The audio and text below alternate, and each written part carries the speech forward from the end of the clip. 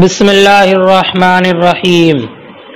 वक़ज़ाउ तकबीरातिल फ़िर्रुकूई हाजा नज़ीर अल्लज़ी हुआ शबीहुम बिल आदा क़ज़ा की तीन किस्में बयान की थी। क़ज़ा बिमिसल माकूल, क़ज़ा बिमिसल गैर माकूल और क़ज़ा मुशाबे बिल आदा दो मिसालें कल के सबक में आपने पढ़ी। यहाँ से तीसरी किस्म की मिसाल का ज़िक्र है। मतलब इसका ये है, तफसील ये है कि अगर कोई इंसान नमाज़ ईद के लिए हाजिर हुआ और उसने इमाम को नमाज़ ईद के रुकू में पाया, नमाज़ ईद के रुकू में पाया, पहली रकत के रुकू में पाया, और इससे तकबीरात ईद छूट गई। हालाँकि तकबीरात ईद का कहना वाजिब है। और अब इसने इमाम को हालत रुकू में पाया है। तो अब ये इंसान क्या करे? तकबीरात ईद कैसे कहे? किस तरीके से उनको अदा करे? तो ये इंसान के, इस इंसान के लिए हमारे नज़दीक हुक्म ये है कि ये बगैर हाथ उठाए रुकू में तकबीर कह ले। हाथ ना उठाए कानों तक, बल्कि बगैर हाथ उठाई रुकू की हालत में उन तीन तकबीरों को कह ले, जो इससे छूट गई हैं। लेकिन रुकू में तकबीरें कहने का जो हुक्म है, ये उस वक्त है जबकि उसे इस बात का अंदेशा हो कि अगर खड़े होकर तकबीरें कहेगा तो इमाम रुकू से सर उठा लेगा। उस वक्त हुक्म यह है कि रुकू में तकबीरें कह ले।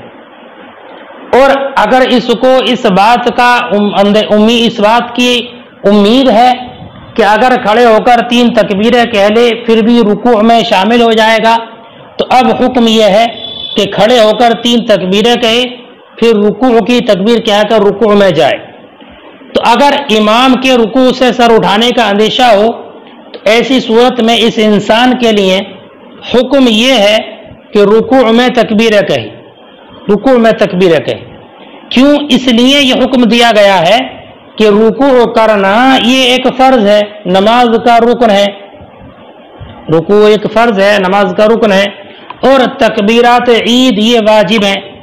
तो हत्तल इम्कान ये कोशिश की जाए कि दोनों की अदायगी हो जाए। हत्तल इम्कान ऐसी कोशिश की जाए कि दोनों की रियायत हो जाए, अदायगी हो जाए। यानी जो फ़र्ज़ है, फेल रुकू, वो भी अदा हो जाए। और उसमें तकबीरात ईद भी कह ली जाए ताकि वाजिब की अदायगी भी हो जाए। तो अब दो हस, हत्तल इम्कान दोनों के हालत की रियायत की जाएगी। अब रहा ये कि रुकू में तस्वी हाथ भी तो पढ़ने का हुक्म है तस्वी हाथ तो फरमाते हैं रुकू में तस्वी हाथ का कहना उनको ये चूँकि मुस्तहब है सुन्नत है इनको मुस्तहब होने की वजह से तर्क कर दिया जाएगा। क्योंकि तकबीरात का कहना वाजिब है और इसका कहना ये सुन्नत है। तो वाजिब की बुनियाद पर इनको तर्क कर दिया जाएगा। और हालत रुकू में दोनों हाथों का घुटनों पर रखना ये सुन्नत है। सुन्नत है। और तकबीरात कहते वक्त में हाथों का कानों तक उठाना ये भी सुन्नत है। तो चूँकि हाथों का कानों तक उठाना ये भी सुन्नत है, और तकबी रुकू में घुटनों पर हाथों का रखना ये भी सुन्नत है। इसलिए किसी एक को दूसरे की वजह से तर्क नहीं किया जाएगा यानी घुटनों पर रखने की जो सुन्नत है तो इस सुन्नत को तकबीरात में हाथ उठाने की सुन्नत की वजह से छोड़ा नहीं जाएगा। बल्कि अब हुक्म यह है कि वो बगैर हाथ उठाए रुकू में तकबीर कह ले। रुकू में तकबीर कह ले। ये है असल मसला। अब फरमाते हैं मुसनफ़ नूरुल अनवार, मुल्ला जीवन अली रहमत रिजवान, कि ये हालत रुकू में तीन तकबीरों का कहना, ये असल के एतबार से, ज़ात के एतबार से कज़ा है। कज़ा है। क्यों? इसलिए कि तकबीरात का जो महल है, वो क़याम है।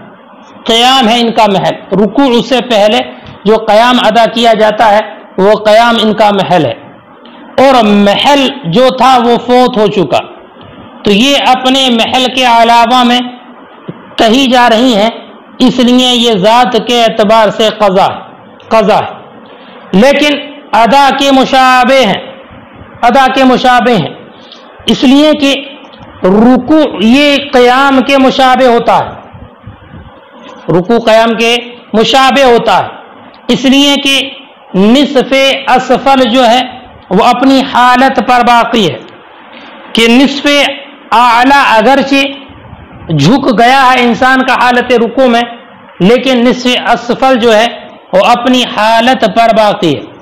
तो निसफ़ असफल के अपनी हालत पर बाकी रहने की वजह से ये अदा के मुशाबे और दूसरी एक दलील ये भी है कि मसला आपने पढ़ा होगा कि अगर कोई इंसान इमाम को रुकू में पाले, रुकू में पाले तो उसका इमाम को रुकू में पाना, उस रकात को अपने तमाम अज्जा के साथ पाना मान लिया जाता है। यानी रुकू में इमाम को पा लिया तो ऐसा है जैसे कि उस रकत को, उसके तमाम अज्जा, क़याम, किरात वगैरह के साथ उसने पा लिया तकदीरन। तो एहतियात इसी में है कि रुकू में इन तकबीरात को अदा कर लिया जाए। रुकू में इन तकबीरात को अदा कर लिया जाए। तो एहतियात इसी में है कि इनको अदा कर लिया जाए, ताकि जहाँ तक मुमकिन हो सके इसकी रियायत हो सके और अदायगी हो सके। अलबत् हाँ काजी अबू यूसुफ रज़ी अल्लाह तु ये फरमाते हैं कि इन तकबीरात की रुकू में कज़ा नहीं की जाएगी। इन तकबीरात को रुकू में कज़ा नहीं किया जाएगा। इसलिए कि इन तकबीरों का जो मौका और महल है, वो क़याम है और क़याम गुजर चुका है। तो लिहाजा अब उसके महल के गुजरने की बुनियाद पर अब इनकी कज़ा नहीं की जाएगी। जिस तरीके से कि इमाम के, इंसान नमाज़ पढ़ने आया और इमाम को रुकू में पा लिया तो किरात उससे छूट जाती है। तो अब जैसे उस किरात की आदा नहीं होता, ऐसे ही इनकी भी आदा नहीं होगा, कज़ा नहीं होगी। ऐसे ही अगर कहीं इमाम नमाज़ वित्र पढ़ा रहा था और ये तीसरी रकात के रुकू में शामिल हुआ, इससे दुआ कनूत फोत हो गई। इस दुआ कनूत की जैसे कज़ा नहीं है, ऐसे ही इन तकबीरात की भी कज़ा नहीं की जाएगी। देखिए तर्जमा। व कज़ा तकबीरात ईदी फिर रुकू और तकबीरात ईद का रुकू में कज़ा करना। हाजा नज़ीर कज़ा हुआ शबी बिल अदा। ये कज़ा की नज़ीर है, जो मुशाबे है अदा के। यानी अन्ना मन अदरकल इमाम फ़ी सलात ईद। यानी जिस इंसान ने इमाम को नमाज़ ईद में पाया, नमाज़ ईद में रुकू में पाया वफ़ात अनहू तकबीरातवाजिबा और उससे तकबीरात वाजिबा छूट गई। फ़ैन युकबिर फिर रुकू इंदना। तो ये हमारे नज़दीक रुकू में तकबीर कहे, मिन गैरी रफ़ी हाथों को उठाए बगैर। लिअन रुकू फ़र्ज़। इसलिए कि रुकू, ये फ़र्ज़ है। व तकबीरात व तकबीरात वाजिबा। और तकबीरात ये वाजिब है। तो रुकू करना, चूँकि ये फ़र्ज़ है, और तकबीरात ये वाजिब है। फ़युरा हालहुमा। तो उन दोनों के हाल की रियायत की जाएगी आला हसबी मायुमकिन जहाँ तक मुमकिन हो सके। वमा रफ़ुल तकबीरात। रहा तकबीरात में हाथों का उठाना। वज़ रुकबतनी फिर रुकू आई और उन दोनों का घुटनों पर रखना रुकू में फ़कीला हुमा सुन्ना तो ये दोनों सुन्नत है। फला युत रकु अहद मबलाखा तो उनमें से एक को दूसरे की वजह से तर्क नहीं किया जाएगा। वहादा कज़ा मिन ज़ात। और ये कज़ा है ज़ात के एतबार से। ज़ात के एतबार से ये कज़ा है। लन्ना महल्लाम इसलिए कि इसका महल क़याम है रुकू से पहले। वक़द फ़ात और वो छूट चुका है। लाकिन शबी हम बिल अदा लेकिन ये मुशाब बिल अदा है। अन्ना रुकू यश बहुल क़याम। इसलिए कि रुकू क़याम के मुशाबे होता है। क़याम नसफ़ असफल। अला हाल ही नसफ़ असफल के अपने हाल पर बाकी रहने की वजह से। वली अन्ना मन अदरकल इमामा फिर रुकू और दूसरी दलील ये भी है कि जिसने इमाम को रुको में पा लिया फ़कत अदर कर रकाता मा जमी अज्जा तो उसने रकात को पा लिया उसके तमाम अज्जा के साथ, मिनल क़यामी वलक़राती तकदीरन, क़याम क़रात वगैरह को तकदीरन। फल एहतियात ताबिहा एहतियात इसी में कि उनको अदा कर लिया जाए। फ़ी उस मैंने रुको में। वंदा भी यूसुफ और इमाम अबू यूसुफ के नज़दीक, ला तो कज़ा हाजिर तकबीरात। इन तकबीरात की कज़ा नहीं की जाएगी रुकू में। लिअन्नहु कद फात महल हुआ इसलिए कि इनका महल फौत हो चुका है। कमा ला तो क़रात वलकुनूत ही जैसे कि रुकू में क़रात व कुनूत वगैरह की कज़ा नहीं की जाती। यहाँ तक ये कज़ा के तीनों किस्मों का बयान मुकम्मल हुआ और उसकी तीनों मिसालें मुकम्मल हुई। वजूबुल्फ़िदिया फ़िसलाती एहतियात। इस इबारत के ज़रिए मुसनफ़ ने एक एतराज़ का जवाब दिया है। एक एतराज़ का जवाब दिया। एतराज़ सुने और फिर जवाब को समझे। एतराज़ ये है कि माकबल में आपने पढ़ा कि शेख फ़ानी के लिए रोज़े के बदले में फ़िदिया देना जायज़ है।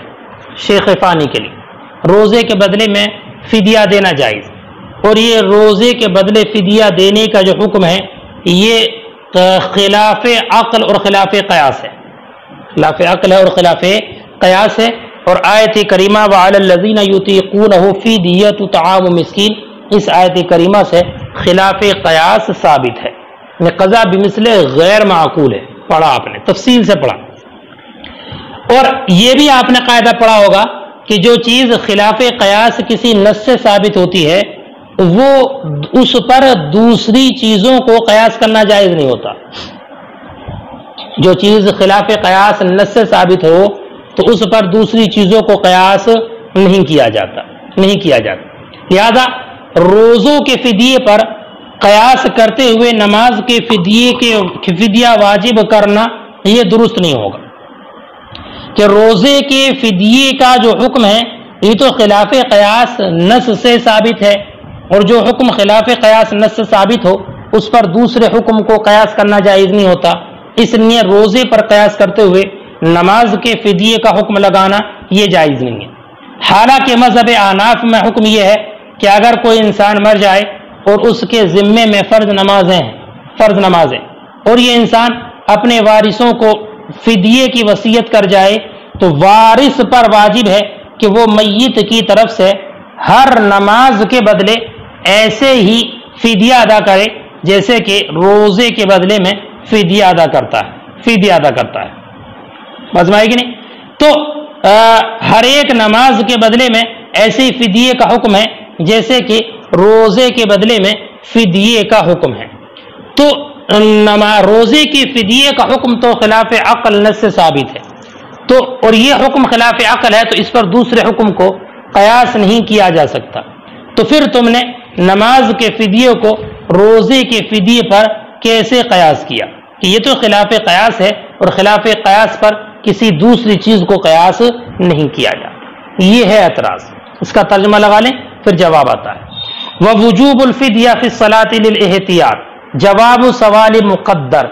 ये एक सवाल मुकद्दर का जवाब है। तकरीरूहू। उस तफस, उसकी तफसील यह है अनल फिदियत फिसौमी शेख फ़ानी, के फिदिये का देना रोज़े में शेख फ़ानी के लिए, लम्मा कानत साबित बिनस गैर माकूल। जब साबित है, ऐसी नस से जो गैर माकूल है। यम बागी अंतक तसर वाले तो मुनासिब है कि उसी पर मुनहसर रखा जाए। वलम तुकीस वाले और उस पर तुम कयास ना करो। मन उसको, माता जो मर गया ही सलात, और उस पर नमाज़ लाजिम है। मा अन्नकुम कुल तुम बावजूद इसके कि तुमने कहा है, अन्नहु इजा माता, कि इंसान जब मर गया वह ही सलात और उस पर नमाज़ बाकी है। बिल फिदियती, और वो फिदिये की वसीयत कर गया या जीबू वारिस तो वारिस पर वाजिब है अन्यफुदिया कि फिदिया दे बेवज कुल्ली सलात। हर नमाज़ के बदले में मा युफदा लिकुल्ली सौ जो फिदिया दिया जाता है रोज़े का असा। सही मज़हब पर। यह है एतराज़। फाजाबा तो मुसन्फ ने जवाब दिया। जवाब सुनी जवाब यह है कि नमाज़ की कज़ा के बारे में जो फिदिये के वजूब का हुक्म हमने दिया है, वो एहतियातन दिया है। नमाज़ में जो फिदिये के वजूब का हमने हुक्म दिया है, वो एहतियातन दिया है। रोज़े के फिदिये पर कयास करते हुए नहीं। नमाज़ के फिदिये का जो हुक्म दिया है, कैसे दिया है? एहतियातन। रोज़े के फिदिये पर कयास करते हुए हमने ये हुक्म नहीं लगाया। और वो ये कि जो नस्से सोम है ना, नस्से सोम नस्से सोम कौन सी वो आयत करीमा? वह अलदीन युतीकूना। तो ये नस्से सोम एहतमाल रखती है इस बात का कि यह मखसूस हो रोज़े के साथ। रोज़े के साथ मखसूस हो। तो अगर ये रोज़े के साथ मखसूस हो, तब तो सही है हुक्म उसी पर मुनहसर रहेगा लेकिन इसमें यह भी एहतमाल है कि ये किसी ऐसी इल्लत का मालूल हो, जो आम इल्लत हो। ऐसी इल्लत आमा का मालूल हो, जो इल्लत के नमाज़ में भी पाई जाती हो। ये मालूल है ऐसी इल्लत आमा से जो इल्लत के नमाज़ में भी पाई जाती हो। तो इस बात का भी एहतमाल है कि ऐसी आम इल्लत की मालूल हो, जो आम इल्लत के नमाज़ में भी मौजूद होती है, और वो आम इल्लत है आजिज होना आजिज होना। तो इंसान जैसे रोजा रखने से आजिज, उसके लिए फिदिये का हुक्म, ऐसी नमाज़ पढ़ने से भी आजिज तो उसके लिए भी फिदिये का हुक्म होगा। इसलिए कि जो इल्लत रोज़े में पाई जा रही है, वो इल्लत यहाँ भी मौजूद है। तो अब नमाज़ चूँकि रोज़े की नजीर है, बल्कि नमाज़ तो रोज़े से भी बढ़कर है। अफजल इबादत है नमाज़ नमाज़। तो जैसे रोज़े में फिदिये का हुक्म दिया गया, हमने नमाज़ में भी फिदिये का हुक्म दे दिया। अब अगर नमाज़ की जानब से फिदिया अल्लाह की जानब कबूल कर लिया, अल्लाह के नज़दीक कबूल कर लिया जाए, फोबिया तो अच्छा है। और अगर बिल फ़र्ज़ नमाज़ के लिए ये फिदिया काफ़ी ना भी हो, तब भी उस मैत के लिए सदक़े का सवाब मिल जाएगा। यही वजह है कि इमाम मोहम्मद रज़ी अल्लाह तु में ज्यादात में ये फरमाया है कि इन अल्लाह ताला ये काफ़ी है। क्या? कि अगर नमाजों का फिदिया अदा कर दिया जाए तो इन ये काफ़ी होगा और इसको, इसके कबूल होने की उम्मीद है। हालाँकि मसाइल कयासिया, ये मशीयत पर मुअल्लक नहीं होते हैं। और इमाम मोहम्मद ने इसको मशीयत पर मुअल्लक किया है। तो मशीयत पर मुअल्लक करना इस बात की दलील है कि यह मसला कयासी नहीं है, बल्कि एहतियाती है। और ये ऐसा ही है, जैसे कि कोई इंसान अगर मर गया और उसने नमाज़ के फिदिये की वसीयत भी नहीं की, उसके वारिस ने उसकी जानब से बगैर वसीयत के उसकी नमाजों का फिदिया अदा कर दिया। तो उसके कबूल होने की उम्मीद है। ऐसी अगर वसीयत कर जाए, तब भी उसके कबूल होने की उम्मीद है। फाजाबा तो जवाब दिया अन्न वजूब अलफिदिया फ़ी कज़ा सलात एहतियात लाल कयास, के फिदिये का वाजिब होना नमाज़ की कज़ा में एहतियात की वजह से है, कयास के लिए नहीं। वली वजाली का वो ये अन्ना नस सोम या तमिलू कि नस सोम एहतमाल लगती है। अन यकून मखसूसन बिसोम कि वो ख़ास रोज़े से वया आमा और ये भी एहतमाल है कि मालूल हो किसी इल्लत आमा से। तू जदुफ़िसला जो इल्लत आमा पाई जाती हो नमाज़ में भी। आनी अलज यानी आजिज होना। वह सलात नज़ीर सोम और नमाज़ रोज़े की नज़ीर है। बल अहम मुमिन बल्कि उससे भी अहम है शान और रफात में। फ़ामरना बिल फिदिया तो हमने हुक्म दिया है फिदिये का। हमने हुक्म लगा दिया फिदिये के अदा करने का नमाज़ की जानब से। फ़ुमिर ना बिल फिदिया। या तो हमें हुक्म दिया गया है फिदिये का नमाज़ की जानब से। फ़िन का फ़तहा इन अल्लाह तो अगर ये अल्लाह के नज़दीक उसकी जानब से काफ़ी हो फबिया तो अच्छा है वो इल्ला फ़लाह सवाब सदक़ा। वरना तो आ, उसके लिए सदक़े का सवाब है। वलिहाजा काला मोहम्मद फिर ज़ियादात। इसी वजह से इमाम मोहम्मद ने ज़ियादात में फरमाया तो जजी ही इन काफ़ी है उसको इन ताल। और मसाइल कयासिया और मसाइल कयासिया जो हैं, ये मुअल्लक नहीं होते हैं, मशीयत से। ला तल्लु बिल मशीयत से मुअल्लक नहीं होते। कत्तु बिल्कुल भी। कमा इज़ा तवा ये ऐसे ही है, जैसे कि वारिस ने नफल अदा कर दिया उसकी जानब से, फ़ी कदाई सोम, रोज़े की कज़ा में, मिन गैर ईसा, बग़ैर वसीयत के, नरजू अलकबूल मिन इन तो इन हम उसके कबूलियत की उम्मीद रखते हैं। फ़कदा हाजा। तो ऐसे ही यहाँ पर उसके कबूल होने की उम्मीद है।